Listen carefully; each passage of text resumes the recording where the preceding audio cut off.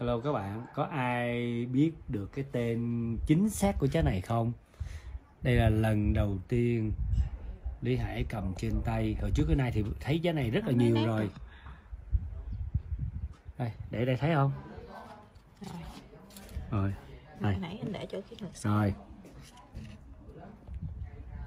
Có ai biết được cái trái này tên là trái gì không? À, mình thấy rất là nhiều. Chắc lẽ có lẽ các bạn sẽ thấy nó nó mọc ở trên mấy cái cái cái ven đường nó nhiều. Và nó chùm chùm chùm chùm chùm rất là nhiều. Và hôm nay mình mới biết luôn. Thấy nó hoài nay mới biết. Hỏi người ta người ta mới biết đây là cái trái thù lù. Ừ, trái thù lù. Tại sao nó tên thù lù ta? Tại nó trước mặt mọi người. Nó thù lù trước mặt mọi người bởi vậy người ta kêu bằng thù lù hả? Theo mình đoán là vậy nó nhan nhản nhan nhản cặp mé đường á. Và cái công năng của cái trái này á đó là nó trị bá bệnh nó giống như thuốc nam vậy. Theo À, google search chứ à, không phải theo lý hải. À, các bạn search ở trong Google thì các bạn sẽ thấy là nó rất là nhiều công năng. Đó và rất là có giá trị. Giờ mình bây giờ mình sẽ bóc nó ra thử. Anh thấy nó lâu rồi nhưng mà lần đầu tiên mình bóc ra luôn. Wow ở trong có màu đẹp xé bên trong. Wow màu vàng đẹp quá. Ừ. đẹp quá ta. Nó mềm nó mềm nó mềm eo mà à. mèo à. Mềm eo như là ruột ờ, của cái ờ, lòng đỏ trứng gà vậy đó. À. Nó mềm thật mềm luôn. Đó. Rất là mềm. Nhưng mà do mình để ngoài nắng là sao? Bởi vậy nó nó rất là ấm. Đúng rồi mới lấy um, đó giống trồng đỏ. Nhìn nè nhìn nè Rio trái thù lù nè. Đây là trái thù lù.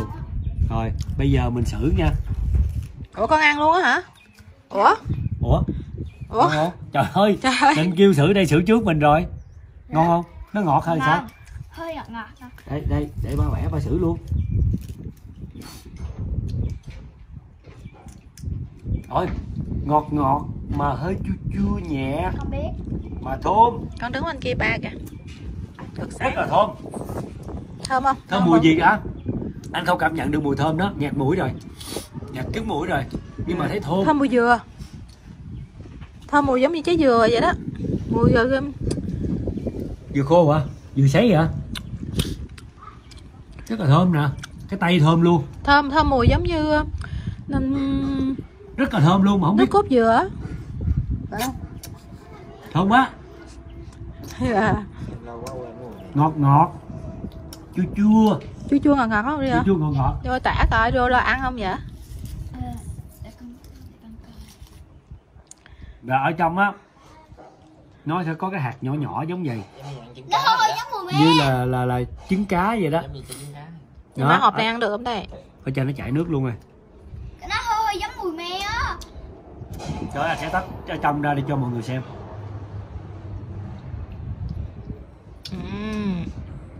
Đây. rất là giống cây trứng trái trứng cá nha. Giống là cái trái trứng cá lắm mà nó rất là thơm.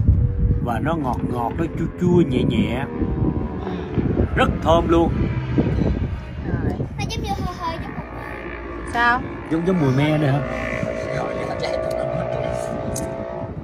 Thơm quá. Rất thơm luôn mày hả vậy sao trước nay mình không biết mình ăn cả thơm. Rất thơm luôn. Em ăn chưa? Hỏi em là người đưa cho anh anh không chịu ăn đó. Ủa hả? Bớm sợ. Bớm sợ chứ không dám ăn. Sợ chị google xong xuôi mới dám ăn. Mà nó thơm thiệt. Ngon vừa ngon vừa thơm luôn. Thơm như mùi trái thanh trà vậy đó. Ừ. Cái tay mà mình xé ra cái tay mình thơm luôn nè. Trời Đã không? Như vậy chiều nay mình sẽ đi sưu tầm một một rổ bây giờ âm đồ đi giặt đi ăn ra ngoài em hái nữa rồi rồi phải hái tiếp. Thôi bye bye. Bye bye các bạn nha nhớ nha cái trái thù lù nha. Mình chưa biết cái lý do tại sao cái tên nó có thù lù nhưng mà dưới quê mình tưởng tượng cái gì mà trước mặt mình nhan nhản kiểu thù lù. Ừm. à, bởi vậy người ta đặt cái trái thù lù